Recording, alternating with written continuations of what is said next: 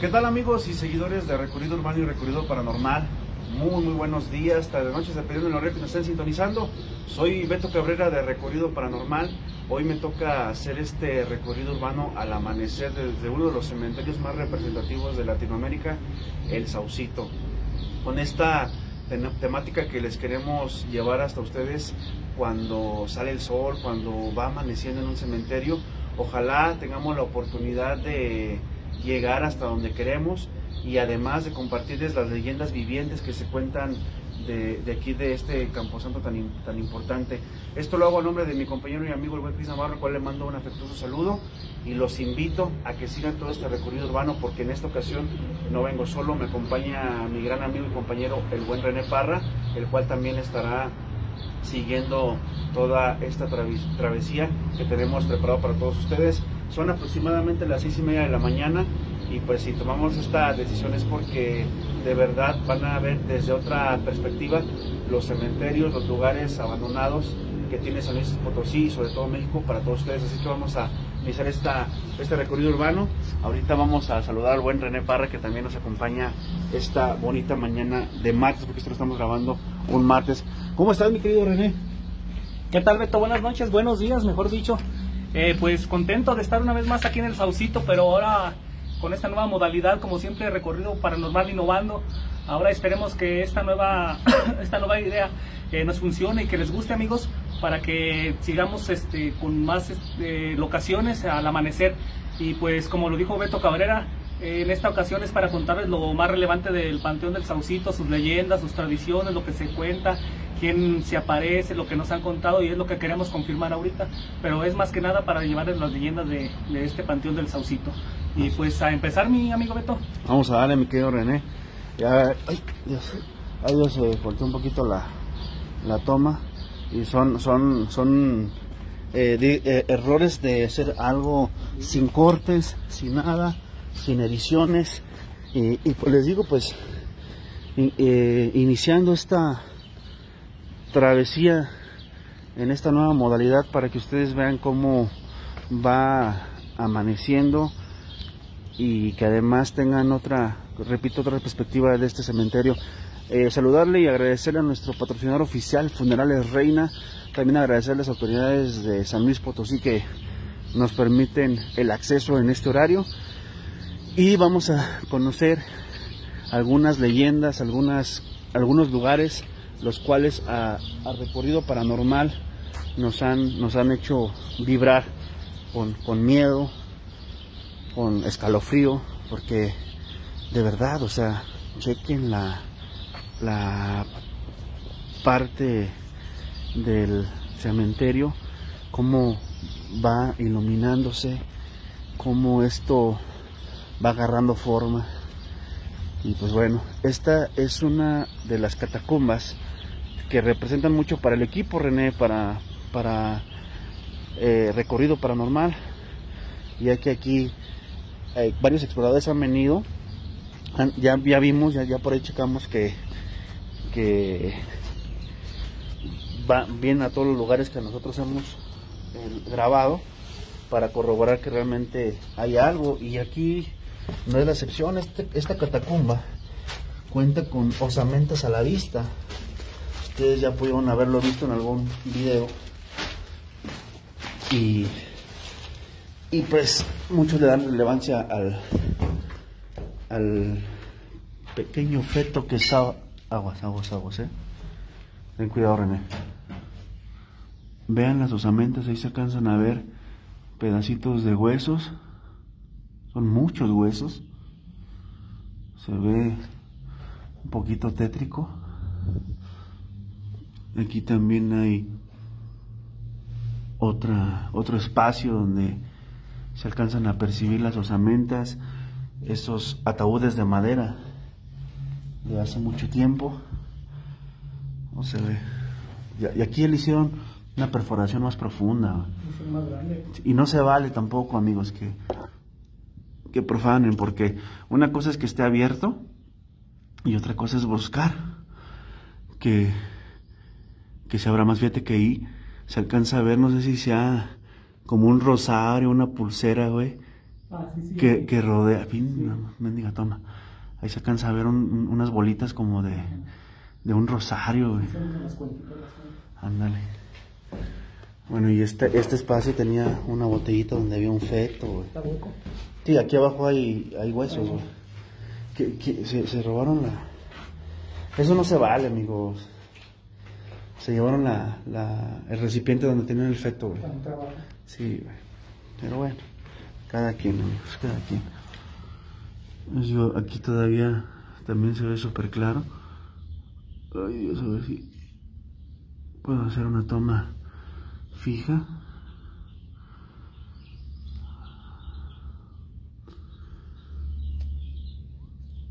No se logra enfocar. Pero ahí se alcanzan a ver. Qué mala, qué mala suerte que no puede enfocarlo. Pero bueno, esta es una de las catacumbas principales que nosotros nos dieron muchísimo material en cuanto al, al fenómeno paranormal. Que, recordarles que estamos en el cementerio del Saucito, Camposanto que data del año de 1889, que se crea por cuestiones de salubridad, porque en aquellos años los cementerios que se encontraban en San Luis Potosí en funcionamiento tenían muchos problemas sobre ese tema. Y la verdad, este, toman la decisión de, a las orillas de la ciudad en aquel entonces, construir este camposanto que el objetivo nada más era para cierto sector de la población. Se convierte en un lugar muy grande, que yo ya lo he repetido en varias ocasiones, un cementerio que tiene más de eh, 33 hectáreas, que tiene más de 350 mil cuerpos sepultados. Entonces imagínense todo lo que conlleva a esto. ¿Qué pasó? Ron? Me parece como una sombra aquí.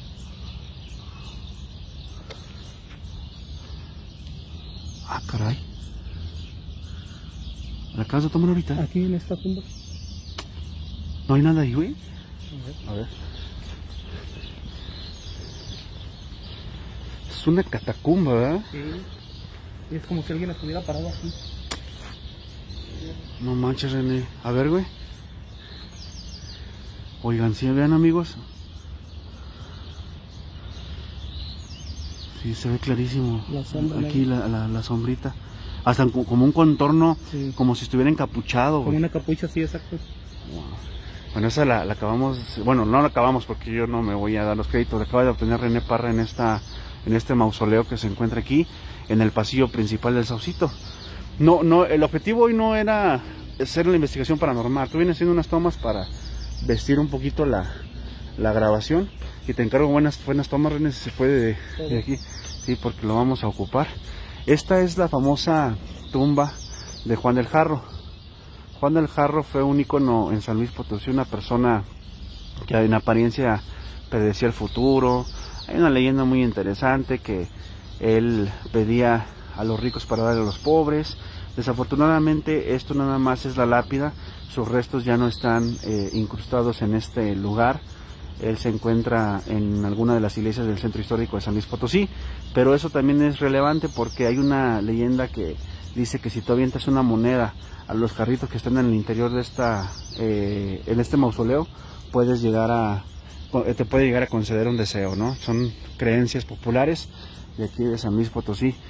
Y les digo, San Luis Potosí eh, con este cementerio se va a convertir en uno de los pilares y parteaguas de toda la República Mexicana para empezar, y nosotros vamos a contribuir en eso, para empezar a contribuir, válgame la redundancia, con eh, esa parte de, del turismo negro aquí en San Luis Potosí, que se da mucho en Europa. Y si ustedes se dan cuenta, vean los, los, las lápidas de yeso, lápidas muy representativas. Y de hecho, esta que estamos viendo frente a nosotros, donde se ve un ángel en la parte de arriba, eh, es la de el creador o el fundador de este cementerio de El Saucito. O, o- omitiré yo el nombre, no voy a manejar nombres para no meterme en ningún inconveniente, pero esta persona que está sepultada aquí es el iniciador de este cementerio del Saucito. De hecho, eh, en la parte de arriba se ve un ángel, pero no es un ángel, por así decirlo, bueno, él es Thanatos, eh, es un, ángel oscuro que, representa a la, la, maldad, a la muerte, y está extraño, digo, no sé qué representación le quisieron dar al tener esta imagen sobre los restos del fundador de este cementerio de Saucito. No sé si para ti es la misma perspectiva, mi querido René, pero sí, es, hay diferencia a cuando hemos venido en la noche, a cuando hemos venido de día. Y bueno, pues todavía observar el amanecer, pues todavía hace más interesante este recorrido. Así es, Beto, como tú bien lo mencionas, es una sensación diferente a, cuando estamos en la noche, cuando estamos haciendo recorridos. Ahorita al amanecer tienes otra, otro punto de vista, ahorita puedes admirar más la, arquitectura, los monumentos, porque en la noche a lo que venimos, al recorrido, a la investigación, ahorita es admirar los monumentos. Sí, y de hecho, eh, contarles las leyendas, por ejemplo, empezamos con la del general. El general que estuvo participando eh, en, en, en la guerra de reforma aquí en la República Mexicana, general que eh, se encuentra sepultado al lado de su esposa, doña Manuela Adame, y pues se dice eh, algo muy interesante sobre este, esta pareja. El general Silverio estuvo casado con esta persona durante muchos años y en, en vida se decía que esta eh, doña Manuela era muy celosa, que hasta que ni en la muerte lo dejó irse solo, ya que el general fallece en el mes de junio si no me falla la vista, mi querido René. 20 de junio, 10 y 15 de mayo. Eh, ok, en mayo, ¿verdad? Mayo. Y la señora Manuela, un mes, un mes después. Así es que ni en la muerte lo dejó irse tranquilo. Y hay mucha gente, digo, espero no, no, creo que no se haya tomado la, la, la, fotografía. Vienen a pedirle muchos milagros. Vienen, le gritan, que esa es la forma de, de, de podérselo pedir a, al general, que supuestamente es un, general muy cumplidor, muy milagroso, y las personas vienen y, le gritan el deseo, pero también se lo deben escribir en un papelito, papelito que se debe incrustar en la cantera que se encuentra aquí. De hecho, aquí ustedes se pueden dar cuenta, hay muchísimos papelitos de milagros solicitados al, general, ¿sí? Se dice que pidiendo el... ¡Ay, güey! Cuidado, René. Pero no hay la puerta, ¿eh? Sí, sí, sí. Se dice que eh, tú dejas tu papelito y te llevas un pedazo de cantera y cuando te lo cumpla tú tienes que regresar con flores para él y para eh, su esposa por haberte cumplido ese, ese deseo. Y así es que si hay gente que quiera venir a pedir el minarito, pues aquí hay esta tumba tan representativa. Les digo, son leyendas vivas que la gente sigue manteniendo y que sigue solicitando, ¿no? Eh, poder poderlas eh, comprobar, ¿no? Y hay muchos antecedentes donde sí hay bastante bastante recursos como para poder decir si me cumplió. No sé si nosotros tengamos mucho que ver con, con esta. Hay que una, una foto, René, ahí grabando a mí. Eh, no si tenga mucho que ver con nuestras exploraciones, ya que le dimos muchísima relevancia a esta imagen. Imagen que se, se convirtió en un ícono para San Luis Potosí, imagen que le dio la vuelta al mundo, imagen que tiene algo muy peculiar, que es haber sido captada abriendo y cerrando los ojos por una televisora potosina, un noticiero serio, un noticiero, un reportero muy conocido aquí en el estado. Él fue el que se dio cuenta de esa situación. Estaban haciendo un reportaje para este noticiero de la televisora potosina en cuanto a información sobre cómo festejaban los potosinos el Día de los Muertos. Estamos hablando ya más de 12, 13 años. Y en el momento que su camarógrafo hace un paneo, se ve como la imagen abre y cierra los ojos. Imagínense el impacto mediático que tuvo en aquel, en aquel entonces. Y pues a partir de ahí se convierte en una de las imágenes más adoradas, que déjanme decirles, no es una virgen, es una doliente, una de esas eh, mujeres que iban en aquellos años eh, llorando alguno de los difuntos. Esta imagen de verdad se convirtió, les repito, en un icono importante a nivel mundial. Y si ustedes checan, tiene unas facciones casi casi perfectas, los ojos de verdad es como si te estuvieran observando con una eh, paz interior que pues nos hace falta a todos. Y pues se ha convertido, repito, en algo muy visitado por, por propios extraños, ¿no? Aquí hay demasiados milagros cumplidos, vemos gente que ha dejado lentes, que ha dejado pulseras, cabello, eh, juguetes, o sea, te encuentras cada vez con más eh, milagros cumplidos, ¿no? Porque estos son milagros cumplidos. Agradecemos a toda esa gente que no pierde la fe y que sigue disfrutando o más bien no disfrutando sino pidiendo a estas imágenes religiosas que, en apariencia te pueden llegar a cumplir un milagro. Eso es importante. Eh, aquí rápidamente les voy a mostrar la primer tumba la primer tumba de aquí de Saucito. Esta tumba fue el primer el primer eh, eh, cuerpo que estuvo en, esta, en este espacio. Perteneció a uno de las personas, arquitecto muy importante aquí en San Luis Potosí, no sé, creo que sí fue arquitecto, él es dueño de una de las casas también más representativas que están entre Constitución y una Universidad, que parece un castillo. Él es el primer, eh, la primera persona sepultada en este, en este espacio, la primera tumba de aquí del Saucito. Muchos no saben ese dato, pero ustedes si tienen la oportunidad de pasar por el pasillo principal, aquí se encuentra. Y bueno, una de las eh, tumbas mediáticas eh, más virales de, de, este camposanto es la de la niña Polet. Eh, esta, este ángel de los olvidados supuestamente se aparece en tus sueños y, y te pide que vengas a visitar a los difuntos que tienes olvidados aquí en el Panteón del Saucito. Ojalá puedan ustedes eh, checar y corroborar esa leyenda. Es una leyenda muy bonita, una niña también muy visitada. Eh, le mandamos un saludo a toda su familia. Esto saben que lo hacemos con muchísimo respeto, pero sigue siendo un icono de aquí de Panteón del Saucito, esta tumba de la niña Polet, que se convirtió en una leyenda aquí en este espacio de Saucito.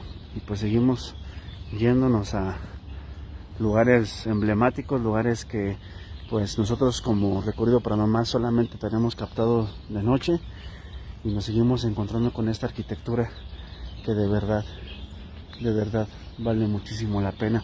Aquí está en esta esquina, hay los perros, a ver si no me atacan. Eh, esta tumba era de unas monjitas, monjas que son eh, del, Sagrado Corazón. Aquí. Disculpa que te interrumpa, pero. No, es como una carita. Ah, caray, se ve como una carita, ¿verdad? ¿Se la puede señalar, mi René? Ah, ahí está, ahí abajo. A ver, quita la mano, quita la mano.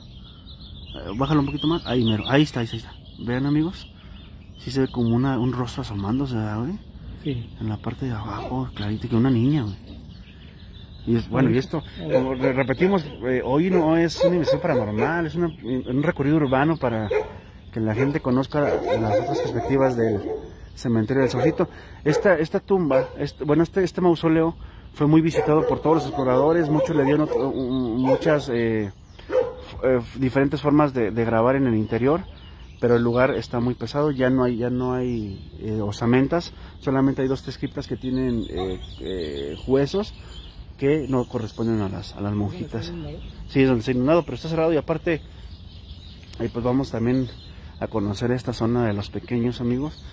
verdad quisiera tener más tiempo para poder llevar a conocer todo, todo este espacio, todo este arraigo que se encuentra en este camposanto. Fíjense que en lo que voy tomando la zona antigua de los pequeños, porque aquí solamente hay niños enterrados, lugar que a mí ya me tocó captar un niño y una fotografía que pueden checarla en esta fanpage de Recuerdo Paranormal.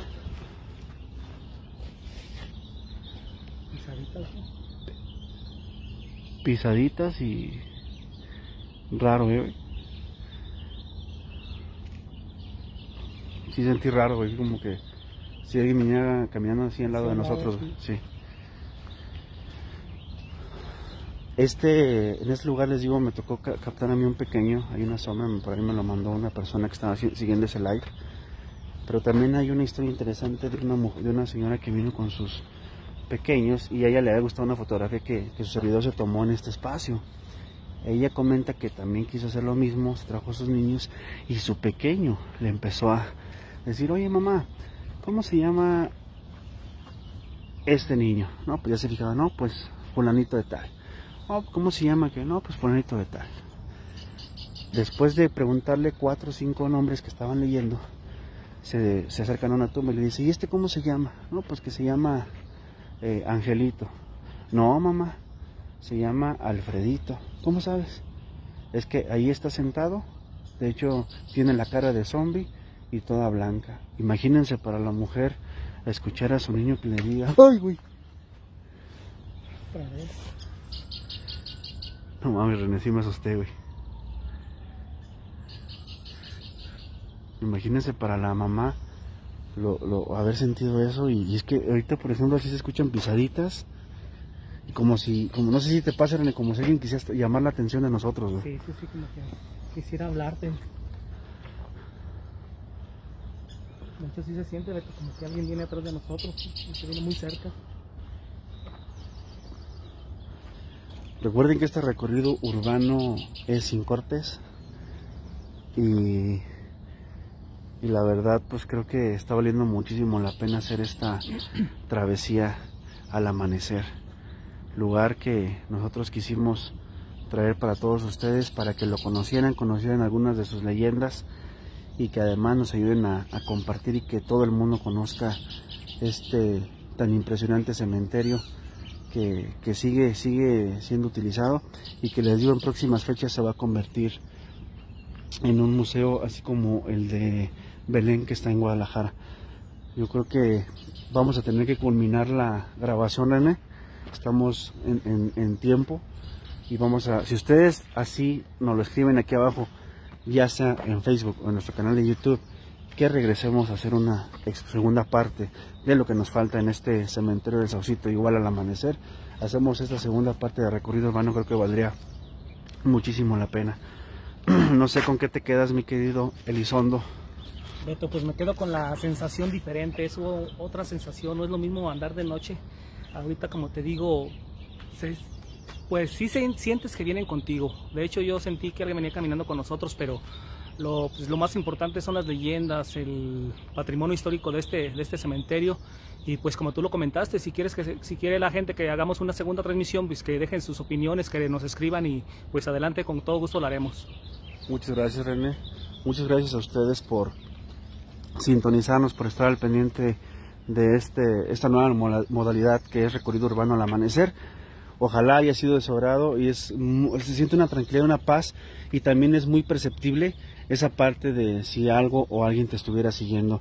Creo que vale mucho la pena, ayúdenos a compartir, vean lo que se logró captar en las fotografías, eso de verdad no está estipulado porque como les digo, la intención de la grabación es hoy recorrer eh, las leyendas vivientes que se cuentan de aquí de, eh, recorrer y explicar las líneas que se encuentran aquí en el Panteón del Saucito. Les mando un fuerte abrazo. Recuerden que esto lo hago a nombre de mi compañero y amigo el buen Cris Navarro, a nombre de nuestro patrocinador Funerales Reina. Les agradecemos a todos y cada uno de ustedes por regalarnos una reacción aquí abajito y compartirnos y para así poder llegar a muchísima más gente. Esto fue Recorrido Urbano, una producción de Recorrido Paranormal. Donde el recorrido se convierte en leyenda. Hasta luego.